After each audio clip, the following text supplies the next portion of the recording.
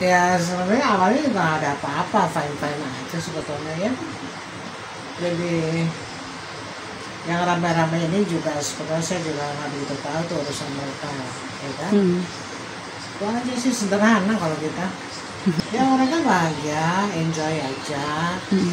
tapi belakangan jadi apa kan juga saya nggak ngikutin kan saya nggak seru mah nggak tahu ya kan Hmm. ya kan Iya. ya itu tadi saya bilang dia enjoy aja Hmm. nggak ada masalah nah, anak-anak juga deket tapi lama yang kecil ya kan Hmm.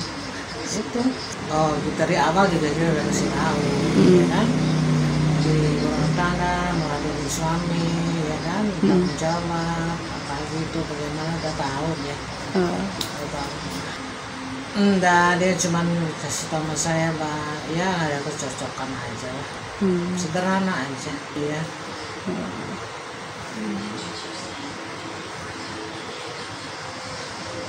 ya saya rasa kalau rumah tangga biasa hal-hal itu tapi inti-inti sekutu dalamnya kan saya nggak ngikut deh nggak tahu. Hmm. jadi saya bilang ya ambil jalan yang terbaik lah. Buat kamu yang terbaik take it or leave it aja. Bener kan? Iya. jangan dipaksakan. Oh ke sini belum?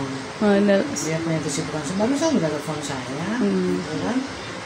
Jadi eh, saya juga cerita bayang tadi kan beritanya dia tanya yang biasa-biasa yang umum itulah tanya masalah apa perempuan siapa tuh namanya saya juga nggak ngerti Heeh. siapa namanya itu yang lagi eh, siapa namanya lupa ya Iya. Tisya Tisya, siapa? iya, Tisya. Ah, ya saya nggak tahu itu Hmm. dan itu juga nggak begitu penting lah ya buat eh, Natal juga penting buat kita lagi keluarga nggak perlu lah ya Hmm. Ya itu yang saya bilang. Bukan bilang "Ma, mama aku nggak tahan. Ya udah kalau tahan ya kamu kerja yang terbaik.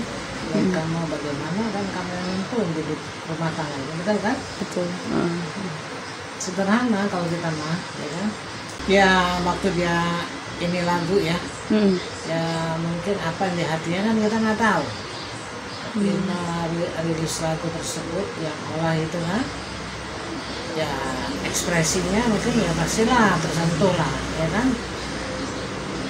Saya juga dengar lagu itu juga saya flashback ini lagu bagus sekali kalau sampai seperti itu ya kan? Dan satu memang dia suaranya bagus ya kan? Ya itu ekspresi seorang Natalia untuk menyanyikan itu dalam hatinya kan saya juga nggak tahu kenapa.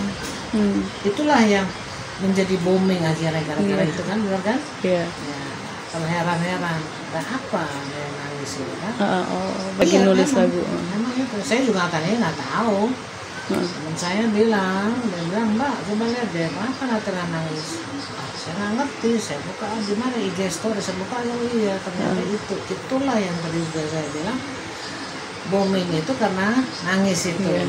ya kan orang yang nggak ngerti apa betul ya wajar lah saya pikir ya Heeh. Iya, itu kan juga saya nggak pernah nanya. Oh, Saya nggak terlalu jauh sih campur itu ya. Kita punya keterbatasan juga. Iya. ya kan? Apa fotomu? Bro? Jadi kan buat saya aneh lah saya tanya Hmm. dia. Ya kan? iya. Hak hak Natalia sebagai istri sebagai ibu rumah tangga kan? Hmm. Ya dia untuk sekarang ini ya fine fine aja, ya kan? Nggak ada masalah. Dan dia memang seorang cucu, seorang yang sangat bijaksana dan dia bisa menover dirinya sendiri dalam hal dunianya dia lah, ya kan? Hmm. Masalah. Nah itu yang tadi saya bilang. Ada teman saya dengar lagu itu juga nangis dia. saya juga sebagai orang tua dengan ironis banget lagu ini, gitu kan? Yang sangat pendalam ya kalau sampai dia meneruskan air mata itu, saya nggak tahu. Oh, Saya juga nggak mau nanya, kenapa sih lo nangis? Tapi saya pernah tanya nih, gara-gara kamu eh, di apa di IG kamu story itu begitu jadi meledak nih, gitu Iya. kan? Tapi kalau ada yang juga bilang ah, itu settingan ya itu ters- terserah orang saja. Haknya mereka lah menilai itu, betul kan? betul. Kan, Mbak? Iya betul. Tapi kalau sampai ada apa-apa juga saya nggak nggak berhak lah nanya kenapa ya kan dia yang tahu dia yang menjalani Hmm. cuman kalau saya kan ya leave it aja lah Nah, kan Iya.